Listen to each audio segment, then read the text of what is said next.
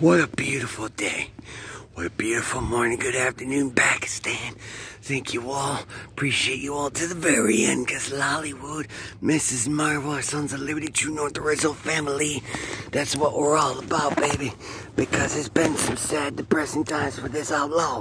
But we're all singing, dancing, acting, live up my spirit.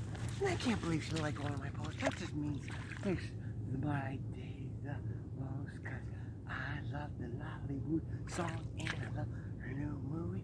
Love Mrs. Marvel because my goodness gracious, I'm not a Marvel fan, but damn, that good story, that amazing art, that Mehwish Hayat could be the original Mrs. Marvel.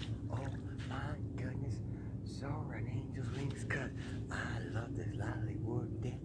And yes, can get those obstacles ass Cause you know, soft, silent, gentle, loving, caring, hope, believing, because the heat I'll never cool down. She keeps me warm, she keeps my spirits up when skies are gray, and when the darkness fills up my day. They start off with one song, and then 15, 16 months later, it's a revolution after all. So be comfortable on your own skin. Pakistan, greatest country in the world. Yes, man.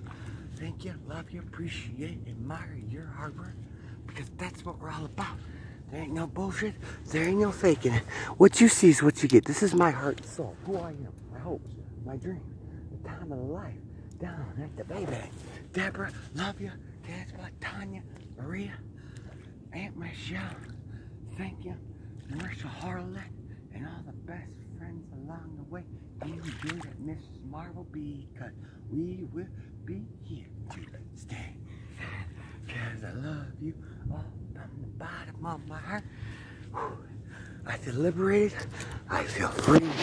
I feel like my beautiful mind's flowing in their creativity. It should be. Thank you, Mehwish Hayat, for all your help. You may never know, but you've earned my respect forevermore. Love you all. Take care.